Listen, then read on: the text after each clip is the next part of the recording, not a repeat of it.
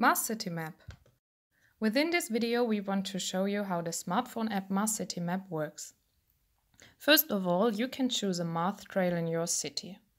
In our example, we are in Frankfurt and by browsing trails, we search for a trail in Bockenheim. We find the location of our task via GPS, so the app shows our own location and the location of the task represented by the blue pin.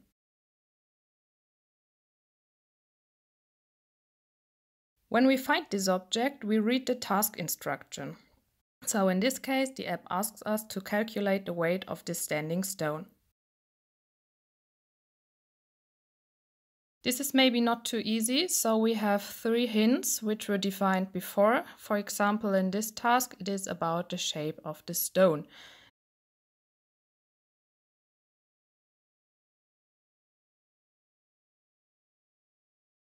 With these hints, we can start to solve the task. We have to count, to measure, and to calculate with the object.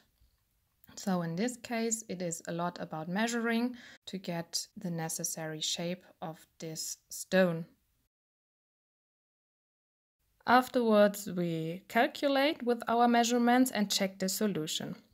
In this case, 12 is the wrong answer, but we are allowed to try again recheck our solution. And in the second try, it is not perfect but okay, and we receive points.